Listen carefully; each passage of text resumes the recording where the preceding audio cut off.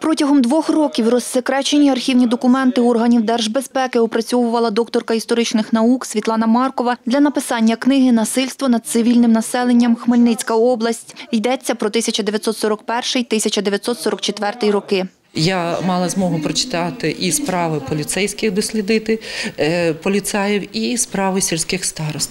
Тобто це не тільки жертви, а і безпосередньо і ось винуватці. Більшість із них виявились люди, які були розкуркулені, які ненавиділи е, комуністичний тоталітарний режим. Там були схильні до насилля, і були ті, хто на першому етапі, якби це люди там місяць-два, які не приймали присягу.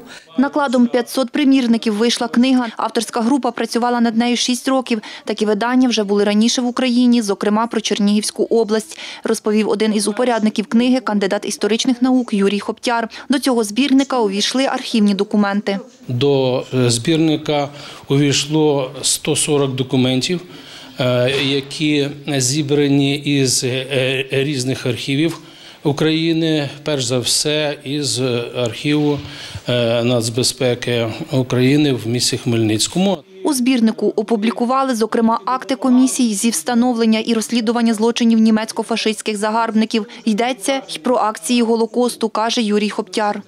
Їх епогея припадає на е, 1942-43 роки.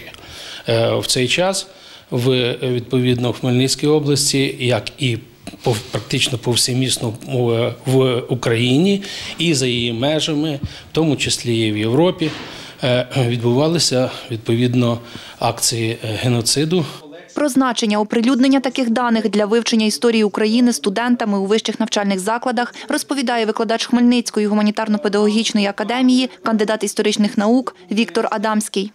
нацистський режим, відзеркалений в документальному корпусі ось цього видання, він демонструє механізми, які задіювалися по відношенню до цивільного населення в роки Другої світової війни.